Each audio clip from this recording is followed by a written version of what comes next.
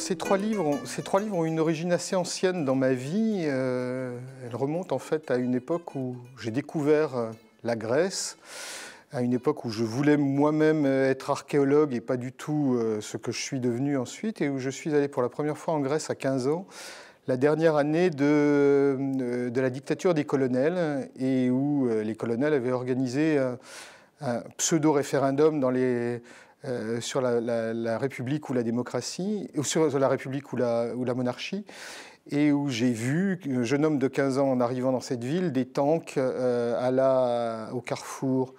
Et en rentrant en France, j'ai cherché un petit peu les livres qui pouvaient m'expliquer pourquoi, euh, pourquoi ce pays, à la fois si proche de nous et si loin, en était à ce point-là, hein, c'est-à-dire à un point assez, assez différent, si différent de celui que nous vivions en France. Et je n'ai rien trouvé. Je suis devenu romancier. Et puis, il y a cinq ans, six ans maintenant, euh, une amie euh, éditrice chez Gallimard m'a demandé si je voulais pas faire une, une histoire de la Grèce. Et je me suis rendu compte que ce livre que j'avais cherché à 15 ans n'existait toujours pas en français. C'est-à-dire qu'il y avait toujours, il n'y avait toujours aucun livre qui pouvait redonner ou donner aux Français une vision synthétique de l'histoire de ce pays depuis Byzance jusqu'à nos jours. Voilà. Et donc euh, l'origine du projet a été l'origine du projet a été celui-là.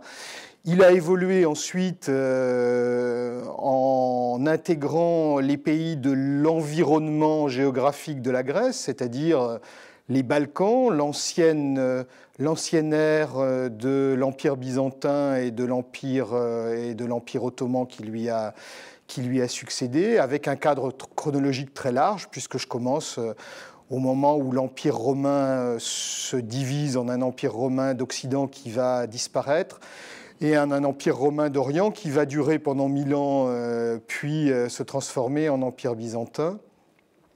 Donc le, projet initial était, celui-là. Et le projet initial est effectivement de donner une vision synthétique des interactions entre les différents pays et cultures de cette région, ce qui n'existait pas dans l'historiographie française. Il y avait une histoire, il y a des histoires du monde turc, euh, donc qui englobent en partie les Balkans. Il y a des histoires du monde slave, donc qui sont centrés sur les Balkans, mais il n'y avait pas d'histoire dans laquelle la Grèce euh, figurait en tant que telle, c'est-à-dire qu'elle figurait un peu toujours comme une marge, soit une marge méridionale pour les, pour les histoires du monde slave, soit une marge occidentale pour les histoires du monde ottoman. Or, pour moi, euh, cette Grèce joue un rôle absolument fondamental et central dans l'histoire de la région.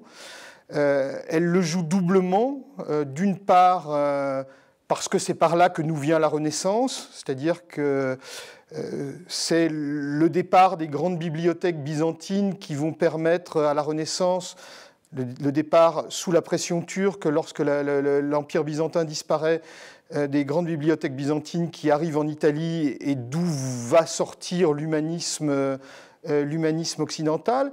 Et puis elle, joue ce rôle de filtre euh, dans l'autre sens euh, au XVIIIe siècle, au XIXe siècle, au XXe siècle, lorsque la Grèce va devenir une espèce de laboratoire politique de la région, euh, en, permettant aux idées des Lumières, à travers notamment les marchands grecs qui sont établis à Marseille, à, à Trieste, à Venise, euh, et qui vont ramener à la fois des marchandises et des idées des, et des, idées des Lumières.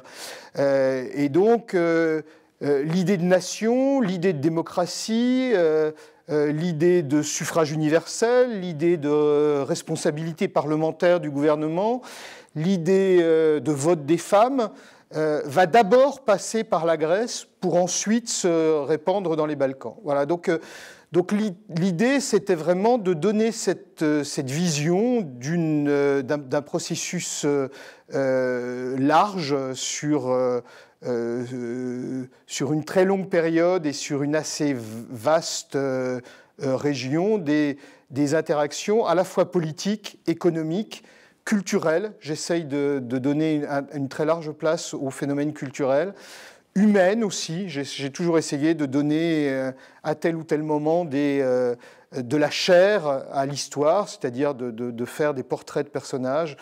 Les, deux chapitres sur le, début de l'indépendance grecque, la guerre d'indépendance et le début de l'indépendance, sont notamment euh, bâtis autour d'un personnage qui a écrit ses mémoires, qui s'appelle le général Macrianis, qui est tout à fait, euh, attachant. Voilà donc euh, en, quelques mots comment, comment résumer ce, ce projet.